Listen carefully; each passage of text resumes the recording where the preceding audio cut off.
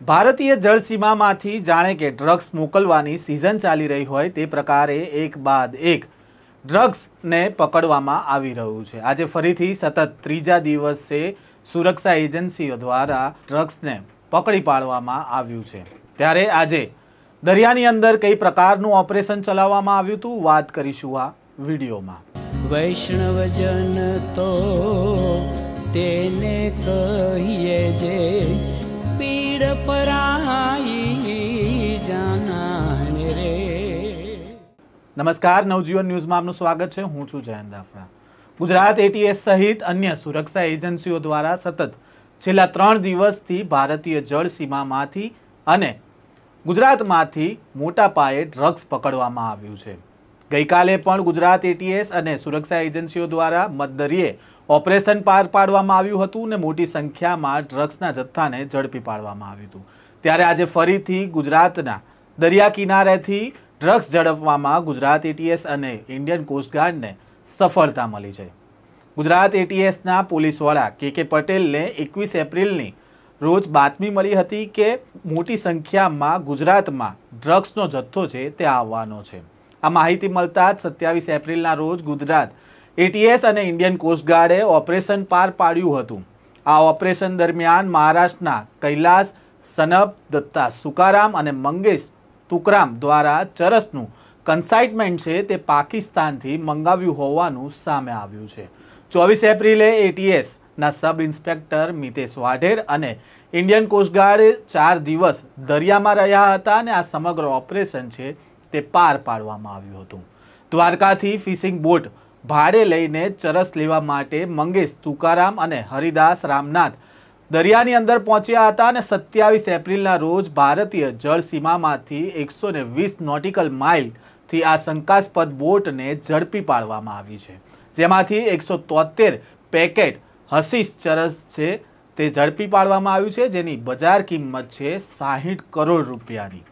આ ઓપરેશન દરમિયાન ગુજરાત એટીએસની બીજી ટીમ છે. તે તપાસમાં પુણે ગઈ હતી, જેમાં police sub inspector VN Vaghela, Jasmine P Rojiya અને B H Korat, police sub inspector VN Bharwad અને બીડી વાઘેલા એડી પરમાર સહિતના અધિકારીઓ જોડાયા હતા અને જે જગ્યા પર ડિલિવરી થવાની હતી, તે લોકોની અટકાયત પણ કરી લીધી છે. આ મામલે ગુજરાત પોલીસના વડા ડીજીપી વિકાસ સહાય શું કહી રહ્યા છે અને કઈ પ્રકારે આ ઓપરેશન છે તે પાર પાડવામાં આવ્યું છે તે સાંભળી લો. છેલ્લા બે દિવસમાં એન્ટી ટેરિસ સ્ક્વોડ જે ગુજરાત પોલીસની છે, એના તરફથી નાર્કોટિક્સના વિષયો ઉપર ખૂબ મોટી સફળતા અગાઉ એમને પ્રાપ્ત થઈ હતી અને ખૂબ મોટી સંખ્યામાં એમડી અને હેરોઇન એન્ટી ટેરિસ સ્ક્વોડના અધિકારીઓ ઇન્ડિયન કોસ્ટગાર્ડના અધિકારીઓ તેમજ નાર્કોટિક્સ કંટ્રોલ બ્યુરોના અધિકારીઓની સાથ સહકારથી પકડવામાં આવ્યું અને આજે મને આપ સૌને જણાવતા ખૂબ આનંદ થાય છે કે એન્ટી ટેરરિસ્ટ સ્કવોડને આ વિષય ઉપર ફરીથી એક ખૂબ મોટી સફળતા મળી છે. અને આ જે પ્રસ્તુત કેસ છે, એ પ્રસ્તુત કેસમાં ઇન્ડિયન કોસ્ટગાર્ડના અધિકારીઓ અને કર્મચારીઓ તરફથી આમ તો અગાઉ જ્યારે પણ કેસો થયા છે સમુદ્રમાં, ત્યારે આઈસીજી તરફથી ખૂબ સારી આપણને સહકાર મળતી હોય છે. પણ આ ખાસ એક કિસ્સો છે અને એના માટે આપણે આઈસીજીના આઈજી સાહેબ પણ આજે આપણી વચ્ચે ઉપસ્થિત છે. પ્રસ્તુત કેસમાં ઇન્ડિયન કોસ્ટગાર્ડની જે સાથ અને સહકારની જે લેવલ હતી, એ ખૂબ જ ઉત્તમ પ્રકારની હતી. અને એમની સાથ અને સહયોગ જો ન થાત તો પછી કદાચ આ કેસ નહીં થયું. આ કેસની વિગત એ પ્રકારની છે કે એન્ટી ટેરિસ સ્કોડમાં ફરજ બજાવતા પોલીસ અધિક્ષક શ્રી કે કે પટેલ નાઓને એકવીસ એપ્રિલના રોજ એવી પ્રાથમિક માહિતી મળી હતી કે ત્રણ વ્યક્તિઓ અને ત્રણે ત્રણ મહારાષ્ટ્રના રહેવાસી કૈલાશ સનત, દત્તા સકારામ અને મંગેશ તુકારામ ઉર્ફે સાહુ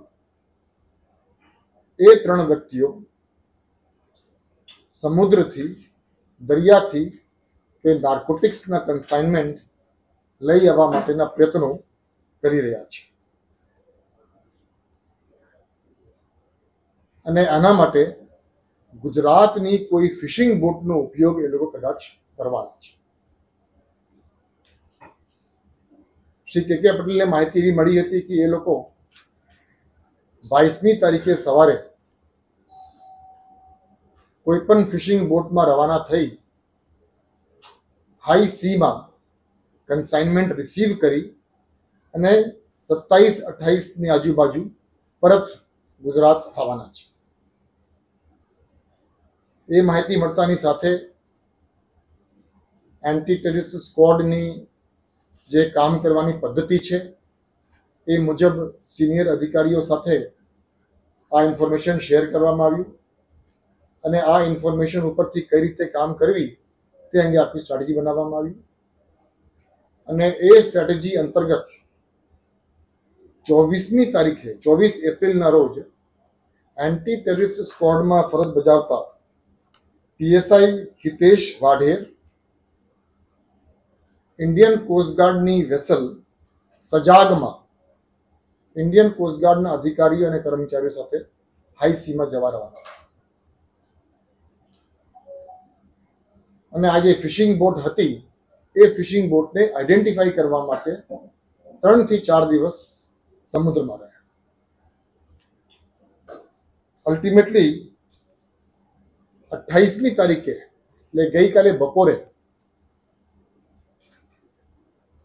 આ ફિશિંગ બોટ આઈડેન્ટિફાઈ થઈ. અને આ ફિશિંગ બોટ ગુજરાતના સરહદથી આશરે એકસો વીસ નોટિકલ માઇલ દૂર.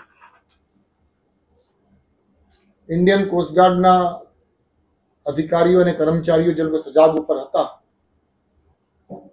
એમને સાથ અને સહકારથી એન્ટી ટેરરિસ્ટ સ્કોડના પીએસઆઈ શ્રી હિતેશ વાઢેર આ ફિશિંગ બોટને ઓવરપાવર કર્યું. આ ફિશિંગ બોટ ઉપરથી બે વ્યક્તિઓને પકડવામાં આવ્યા. એક મંગેશ તુકારામ, જે અગાઉ મેં આપણે વાત કરી છે એ જ, મૂળ રહેવાસી ભીડ મહારાષ્ટ્રના હતા. અને બીજો હરિદાસ રામદાસ રામનાથ કુલાલ, એ પણ ભીડના રહેવાસી છે. અને આ જે હરિદાસ રામનાથ કુલાલ છે. પાછળથી આપણને ખબર પડી કે અગાઉ મહારાષ્ટ્રમાં એ મર્ડર અને કિડનેપિંગના ગુનામાં પણ આરોપી તરીકે પકડાયેલા એટલે બે ફિશિંગ બોટ ઉપર આ બે જણા મળ્યા અને આ ફિશિંગ બોટમાં સર્ચ એન્ડ સીઝર દરમિયાન કુલ એકસો ને તોતેર પેકેટ હશીશ એટલે ચરસ નું મળી આવે. જેની ઇન્ટરનેશનલ માર્કેટમાં કિંમત આશરે સાહીઠ કરોડ જેવું કહેવાય છે.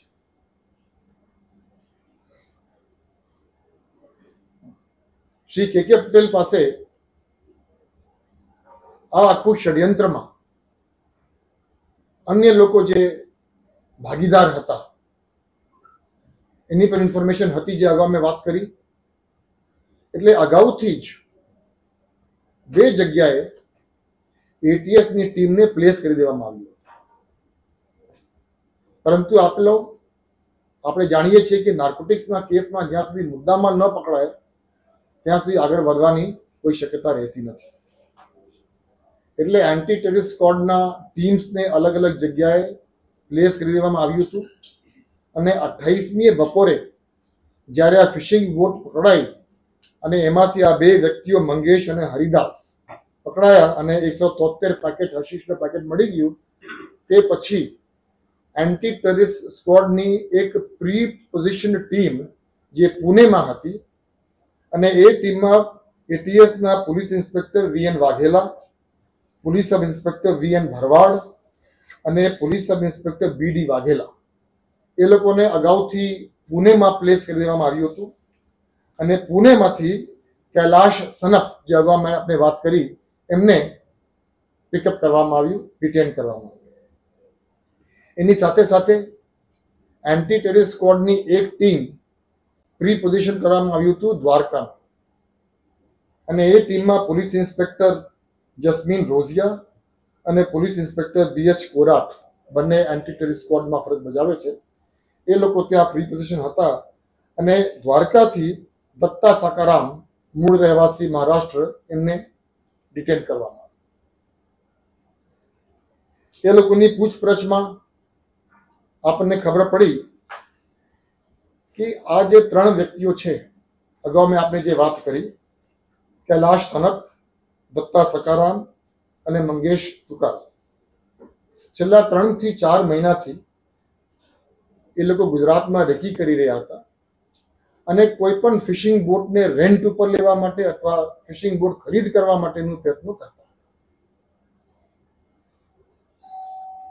અને એ સમય દરમિયાન એ લોકો સંપર્કમાં આવ્યા હતા અલી અસગર હલેપોત્રા રહેવાસી આરિફ, જે માંડવીના છે કચ્છી આ માહિતી આપણી પાસે હોવાના કારણે એન્ટી ટેરરિસ્ટ સ્ક્વોડના પીએસઆઈ એડી પરમાર ને માંડવી મોકલી. આ અલી અસગર હલીપોત્રાને પણ ડિટેન કરવામાં આવ્યું છે કચ્છથી. આ અલી અસગર હેલેપોત્રા રહેવાસી માંડવી કચ્છ.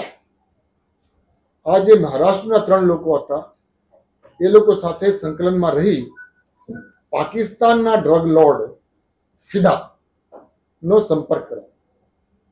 અને ફિદા મારફતે આ એકસો તોતેર પેકેટ હશીશ ને મોકલવાની અને રિસીવ કરવાની આખી રચવામાં આવી. તમામ લોકોની ડિટેન્શન પછી પૂછપરછ કરવામાં આવ્યું.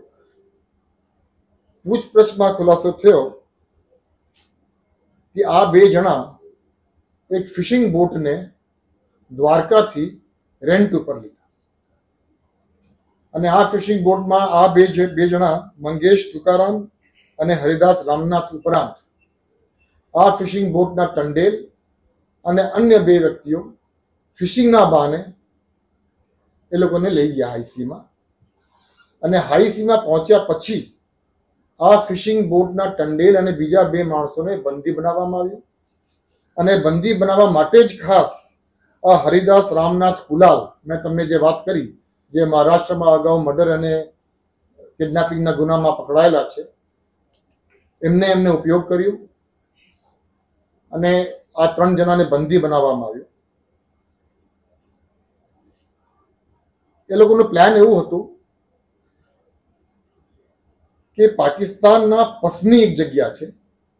પસનીથી એકસો દસ નોટિકલ માઇલ દૂર આ ફિશિંગ બોટ લઈ જનાર હતા અને ત્યાંથી પાકિસ્તાનથી કન્સાઇનમેન્ટ જે આવશે, એ કન્સાઇનમેન્ટ પોતાના ફિશિંગ બોટ ઉપર એ લોકો ટ્રાન્સફર કરી લેવાના હતા.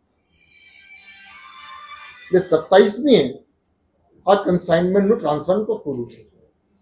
અને ડ્રગની સાથે સાથે પાછા આવવા માટે જે ફ્યુઅલની જરૂર છે, જે રાશનની જરૂર છે, એ પણ પાકિસ્તાન બોટ જે આવી હતી એમને લોકો પૂરી પાડી હતી.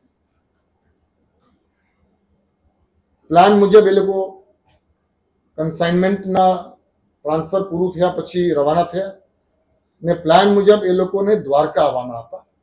અને દ્વારકામાં અગાઉ જેને એટીએસના ટીમે પિકઅપ કરી હતી, દત્તા સકારામ, એ દત્તા સકારામ આ જગ્યા દ્વારકામાં અગાઉથી હાજર રહી, એ કન્સાઇનમેન્ટ રિસીવ કરવાના હતા અને પછી ત્યાંથી આગળ લઈ જવાના હતા.